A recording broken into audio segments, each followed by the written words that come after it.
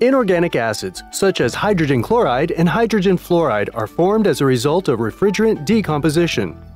These acids are formed in significant quantities during a compressor burnout. The more acid in a system, the faster the insulation is etched away. But even low levels of acid shorten compressor life.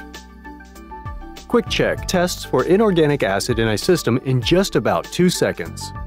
QwikCheck is excellent for preventive maintenance to determine trace amounts of acid that could lead to a burnout, but it is also ideal after a burnout to assure that any residual acid from the burnout has been removed.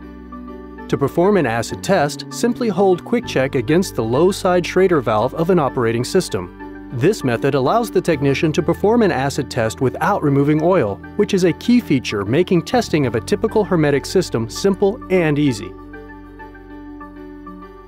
Hermetic systems do not have an oil drain, so acid tests are rarely performed on these systems, yet hermetic compressors are typically the most prone to burnouts. This unique QwikCheck indicator can react to acid levels as low as 1 part per million in as fast as 2 seconds. When removed from its protective package, the QwikCheck should be yellow. If a QwikCheck is ever red or pink when removed from the packaging, it has been exposed to acid and should not be used. QwikCheck allows fast and accurate preventive maintenance acid checks on hermetic systems.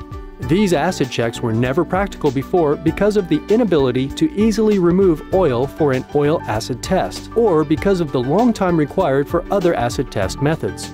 This opens up an entirely new potential for acid testing to discover problems before the system burns out or is damaged.